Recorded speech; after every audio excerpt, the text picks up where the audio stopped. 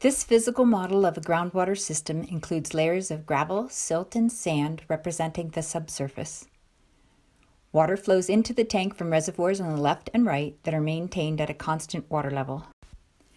An outflow tube about three quarters of the distance from the left side of the tank represents a location where groundwater discharges to a stream.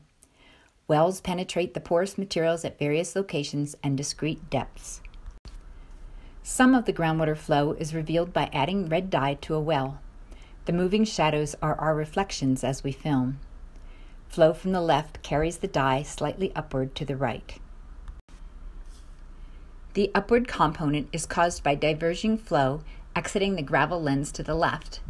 The flow path reaches a high point, then turns downward as flow converges on the gravel lens to the right. Groundwater flow is slow, so this video compresses 30 minutes of time into one minute of video. When the dye reaches the gravel lens, it moves more rapidly because the groundwater velocity in the lens is higher. Next, green dye is added to a deeper well below the silt layer. The green dye moves upward and to the right because flow is converging on the gravel lens that connects to the stream.